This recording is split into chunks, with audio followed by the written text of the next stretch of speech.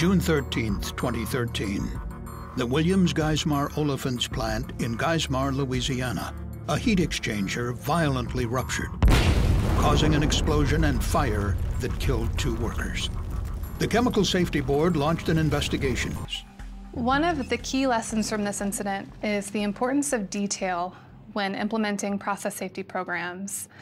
If a critical detail is overlooked in an MOC, in a PSSR, a safeguard evaluation, or a PHA, a significant hazard can be missed, and this can lead to a major incident, sometimes years later.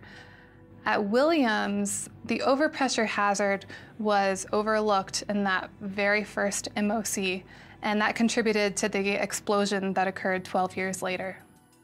To prevent future incidents and further improve process safety at the Geismar plant, the CSB recommended that Williams conduct safety culture assessments that involve workforce participation and communicate the results in reports that recommend specific actions to address safety culture weaknesses. Develop a robust safety indicators tracking program that uses the data identified to drive continual safety improvement and perform comprehensive process safety program assessments to thoroughly evaluate the effectiveness of the facility's process safety programs. In its case study, the CSB encourages companies from across the country to review and incorporate the safety lessons and recommendations from the Williams Geismar plant investigation within their own facilities. Many of the incidents that the CSB has investigated could have been prevented if an effective process safety management program had been in place at the facility.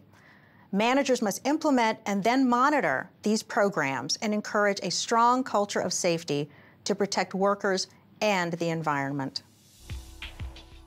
For further information about the CSB's Williams Geismar plant investigation, please visit csb.gov.